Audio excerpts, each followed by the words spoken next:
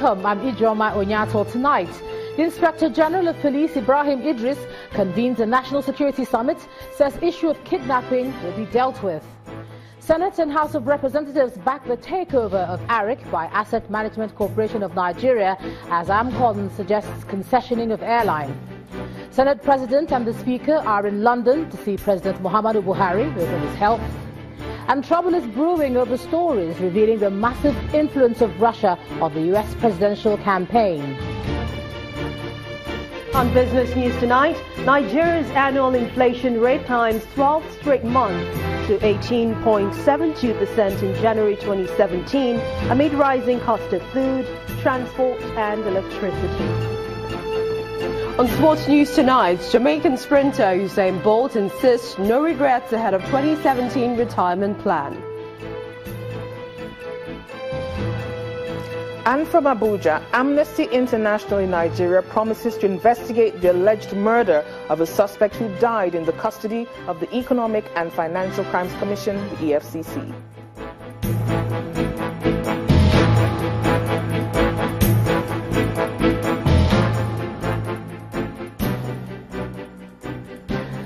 Start off with the visit of the Senate leadership to President Muhammadu Buhari in London. We can tell you that the Senate President, Dr. Bukola Saraki, and the Speaker of the House of Representatives, Yakubu Dogara, have seen the President. Others on the team are the Deputy Speaker, Lasun Yusuf, and the Senate Leader, Senator Ahmed Lawan. The four-man team left for London this morning to see the President, who has extended his vacation to attend to his health.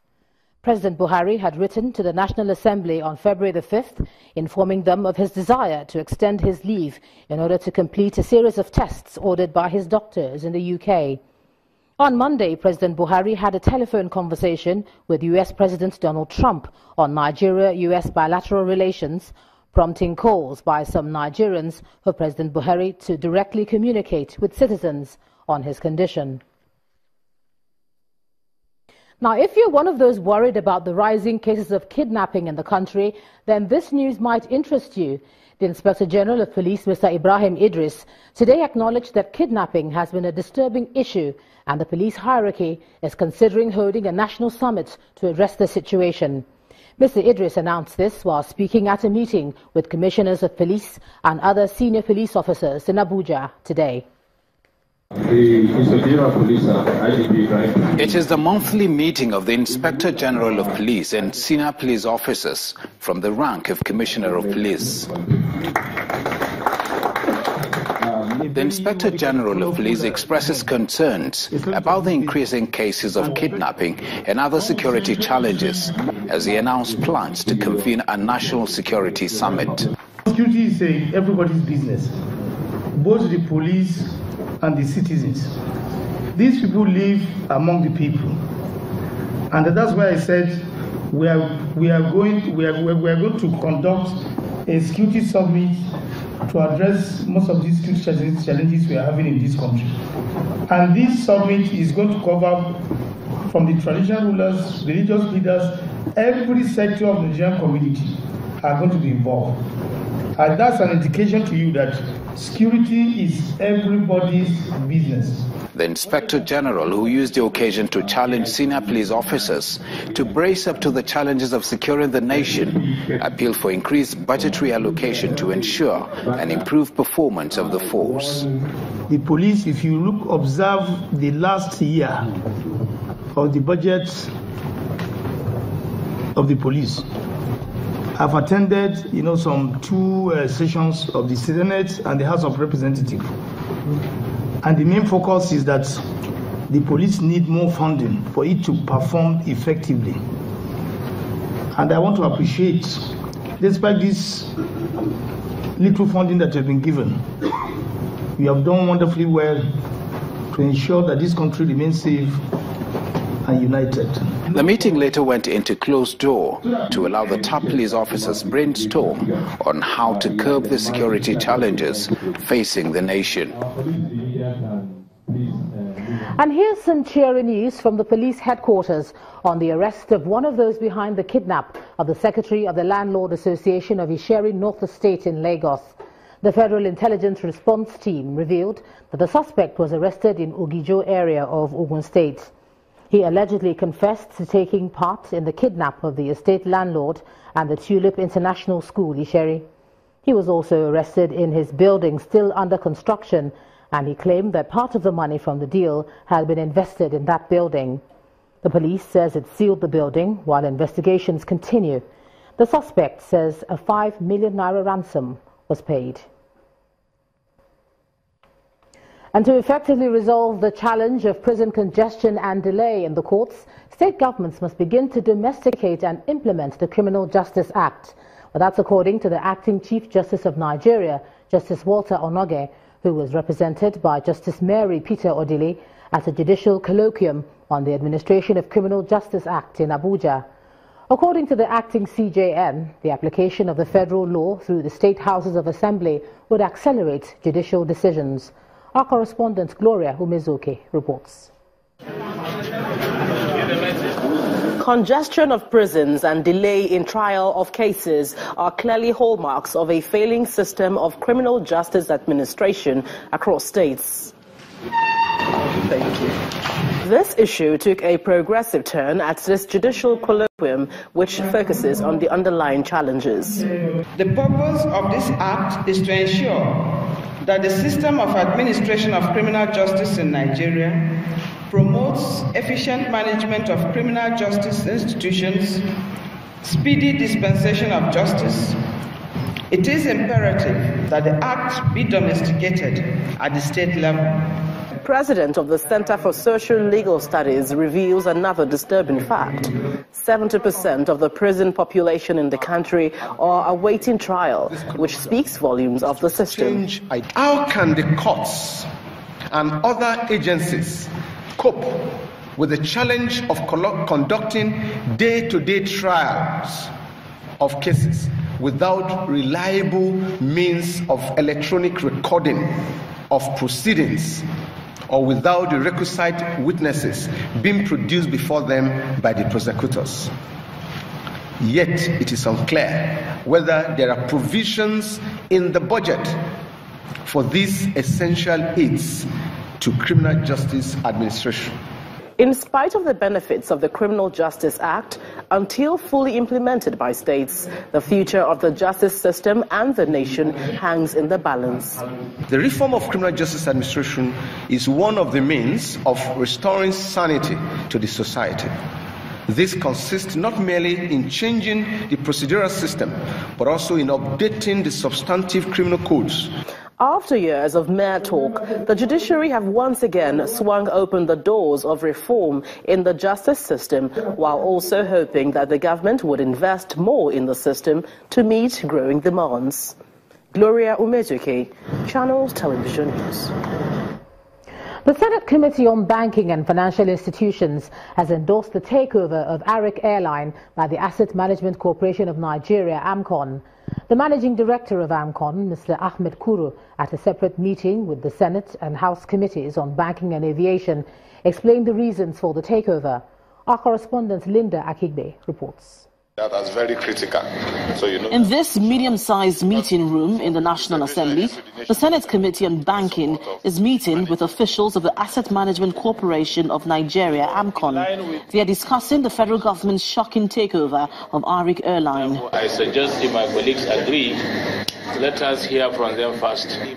The managing director of AMCON told members of the committee that Arik is indebted to AMCON to the tune of 146 billion naira, which excludes Arik's indebtedness to other banks and aviation authorities. He also says Arik Airline has consistently defaulted in paying off its loans and has a serious problem of lack of accountability. Apart from AMCON, Arik is also currently indebted to other commercial institutions uh, in Nigeria, about 165 billion, and uh, they have failed to even pay staff salaries. Their own staff salary uh, for periods ranging between five to seven months, depending on what department you are working on. The managing director of AMCON, however, says government has no plans to rationalize staff of Arik. Intervention in Arik is not the usual recovery intervention.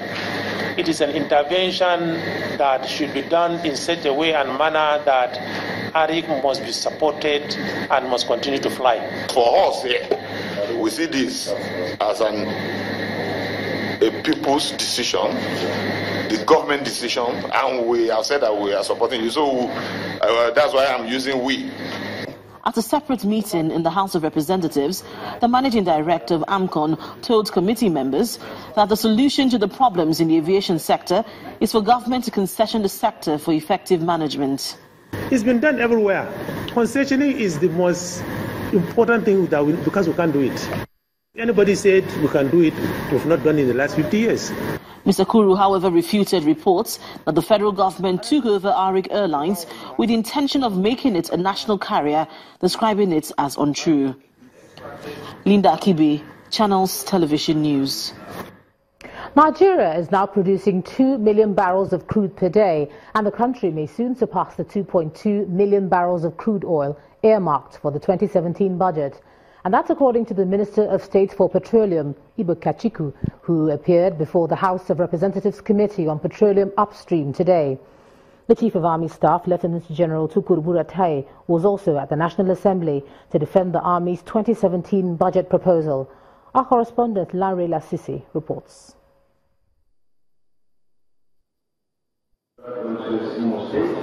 The Minister of State for Petroleum Resources and officials of the ministry appearing before the House Committee on Petroleum Upstream for the 2017 budget defense session. The minister outlines the achievements of the ministry in 2016 and makes some projections for this year.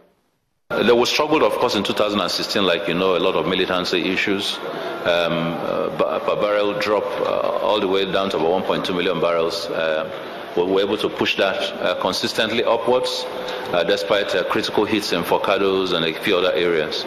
Um, and um, we have been able so far, at least by the end of December, to get a production up to about 1.8 million barrels, and today about 2 million barrels. Meanwhile, the Chief of Army Staff and officials of the Nigerian Army are before the House Committee on Army to defend their 2017 budget proposal of 152.8 billion naira.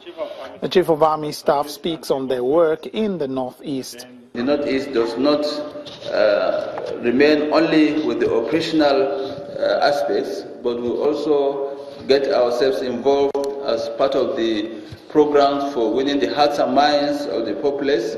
We need their support to be able to uh, get more knowledge and information about the activities of the Boko Haram terrorists who are widespread in the uh, terror uh, in, the, in, in the region. The House of Representatives Committee on Governmental Affairs also meets with the National Lottery Regulatory Commission.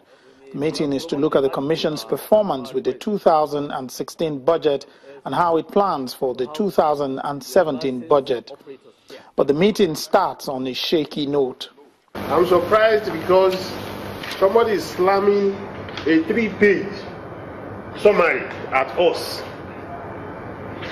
From a government agency that's supposed to generate funds, and we're still here wasting our time and looking at it. Where are the attachments? Where are the analysis? What are we looking at? The Commission is to return to face the committee when it has its documents well prepared. Lanre Lasisi, Channels Television News. The Katsina State House of Assembly today impeached its Speaker Alhaji Aliyu Muduru. 23 out of 24 lawmakers endorsed the vote of no confidence before his impeachment was announced. Meanwhile, Mr. Abubakar Kusada has emerged as the new Speaker of the Katsina House of Assembly. The impeached 34-year-old speaker is from Muduru in Mani local government area of Katsina state. In part two, after the break, we'll be assessing the modular refineries proposed by the acting president for the Niger Delta region and we'll be joined by Mr. Alex Ogedengbe, former managing director of Kaduna Refinery. Do stay with us.